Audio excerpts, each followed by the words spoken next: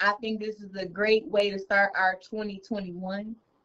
I think that they have a lot of fixing to do behind Donald Trump, but I think that Joe Biden and Kamala Harris are the ones to do it. So um, I'm super happy it's a it's a woman there who can who can represent us women and also represent us women of color. What does this say to all these you know little girls sitting at home today?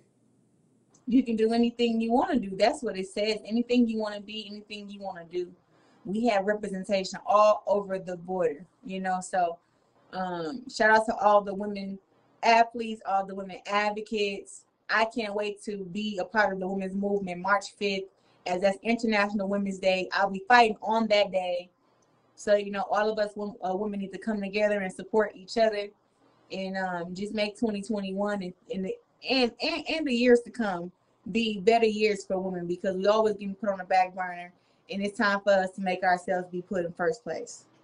The perks of being a two time Olympic gold medalist, you did have a chance to visit the White House when President Biden was vice president. What was the experience like meeting him? There's that picture that went viral of you holding hands together. well, that wasn't at the White House. That was actually in Detroit Got when I had met him.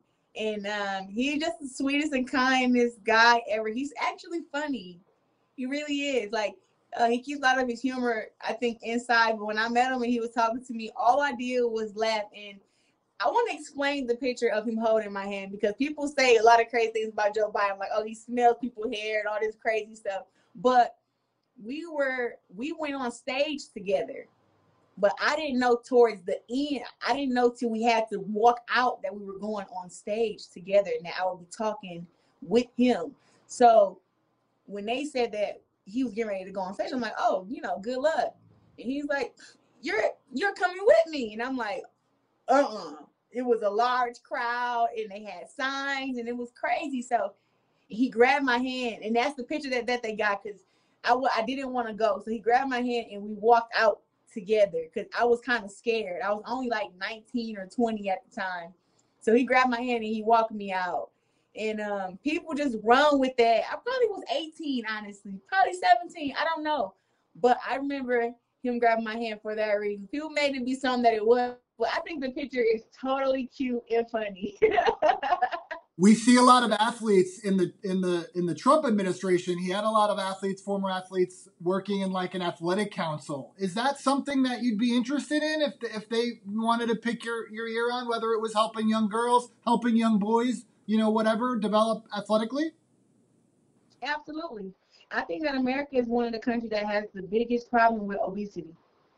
Um, and that's all over the world you know and i think that that comes from a lot of the food consumption here. I think it's about teaching um, kids that they have choices on what they eat and what they eat will affect their body in the long run. So it's okay to eat a cookie or to eat mcdonald's or to eat you know at fast food restaurants every once in a while but some people do it every day and that's completely unhealthy. So i think it's about putting information in their in their head that can help them to like, okay, today we're going to eat a salad, tomorrow we're going to eat McDonald's.